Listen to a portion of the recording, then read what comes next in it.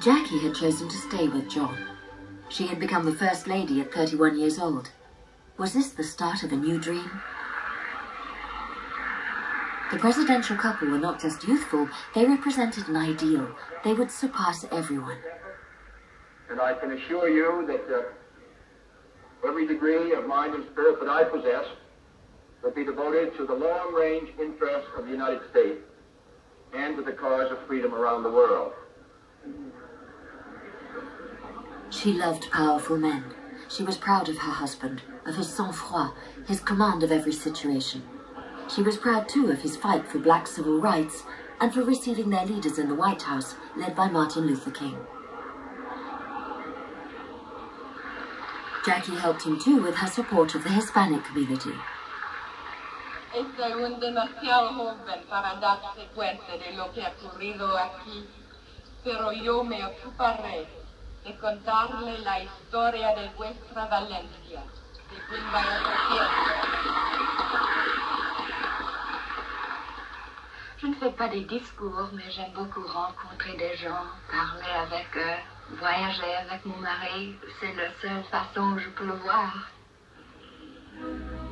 In May 1961, on their first official visit, John Kennedy was received by Charles de Gaulle.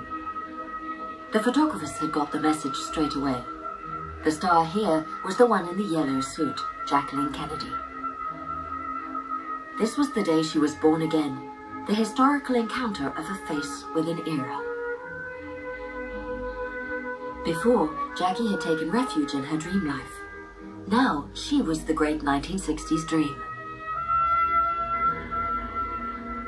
France, she showed off her preppy style, that half smile of hers which soon women the world over would be copying. She had the beguiling charm of a geisha. André Malraux was unable to resist. In Paris, a star of the media had been born. John took pleasure in announcing it. I do not uh, think it altogether inappropriate to introduce myself to this audience. I am the man who accompanied Jacqueline Kennedy uh, to Paris, and I've enjoyed it.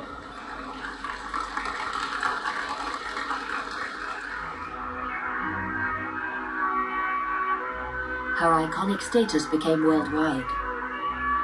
When John traveled abroad on his own, he met with the same placards.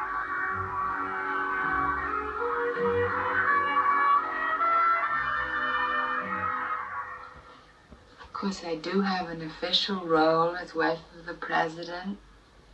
And I think every first lady should do something in this position to help the things she cares about. I would hope that when I leave here, I will have done something to help in the, to make,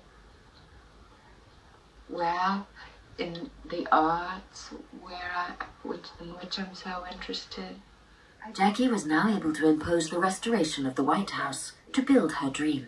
She wanted to turn the presidency into the new kingdom of Camelot.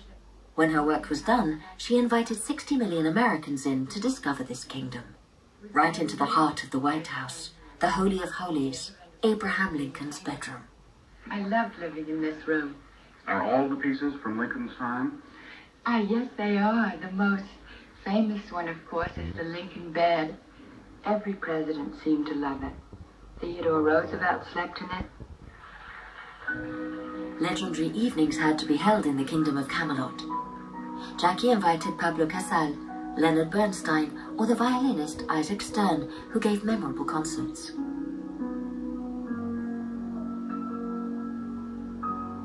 Here's the president leaving the Oval Office to go and play with his son, John John, whom Jackie had given him just after his election. A natural president, a family man, so close to his children. No doubt the love of his daughter Caroline's life. A picture of absolute power and the simple, loving life of a united family. Jackie's new dream that had triumphed in all the media.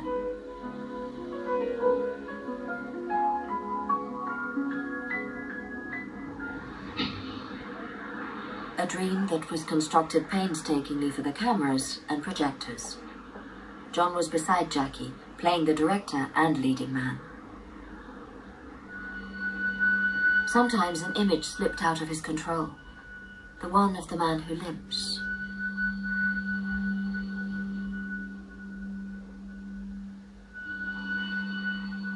His Addison's disease still required its daily injections, but there was also the venereal disease he had caught as a young man and which resisted antibiotics. And then there was the cocktail of amphetamines and steroids that Dr. Jacobson regularly injected in him. Jackie knew all about it. Her husband was on life support. She knew, too, that he was a slave to his libido with an endless craving for fresh female flesh. Jackie had wanted to introduce beauty into the White House. Did she know that John was also fond of Lincoln's bedroom? That he liked a quick tumble on the big bed with his 15 or 30 minute mistresses?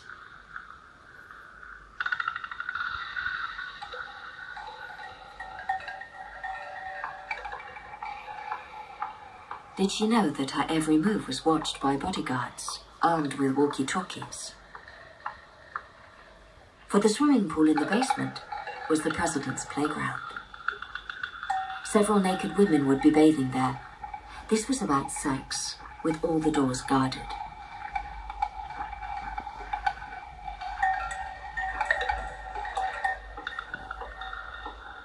Was she scared about what she might find one day if she pushed open one of the doors, of a scandal that would smash the new dream?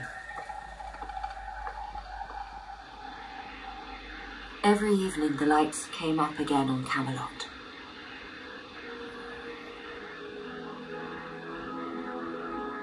That time, their host was the French writer and minister André Malraux. It was yet another evening devoted to art and beauty.